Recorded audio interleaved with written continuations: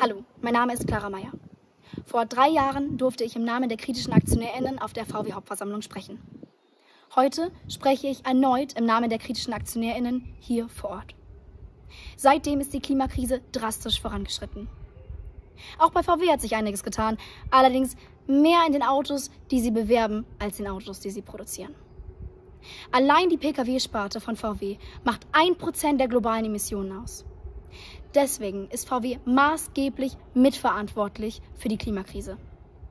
Und obwohl wir schon so tief in dieser Krise stecken, betreibt VW weiter eine Privatisierung der Gewinne durch den Verkauf ihrer Autos und eine Kommunalisierung der Kosten an uns alle. Was für ein blödes Geschäftsmodell funktioniert bitte nur dann, wenn ein Großteil der wahren Kosten ignoriert und auf uns alle abgeladen wird. Wenn dann Menschen wie Ulf und ich klagen, werden, äh, versteckt sich VW gerne hinter den eigenen Konsumentinnen. Sie konsumieren, wir produzieren. Das Tragische ist, bis wir in Deutschland kostengünstigen, effizienten Nah- und Fernverkehr haben, sind die meisten Menschen nur mal auf ihr Auto angewiesen.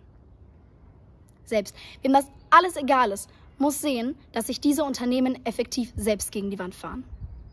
Immer mehr Länder planen Zulassungsstopps für Verbrenner. Wer so sehr an dieser Antriebsart festhält, hat auf dem Automarkt der Zukunft schlechte Karten. Und dann, wenn VW mit diesem Verhalten nicht nur die Klimakrise befeuert, sondern auch noch tausende Arbeitsplätze in Deutschland riskiert hat, dann werden sie einen Rettungsschirm in Form von Milliardenhöhe von den deutschen SteuerzahlerInnen verlangen. Wer jetzt noch in VW investiert, sollte sich das gut überlegen. Konzerne wie VW, die auf Kosten von uns allen ihr dreckiges Geschäftsmodell durchführen, während sie im Fernsehen von Nachhaltigkeit reden, riskieren unser Recht auf Zukunft, unser Recht auf Klimaschutz. Deswegen klagen wir.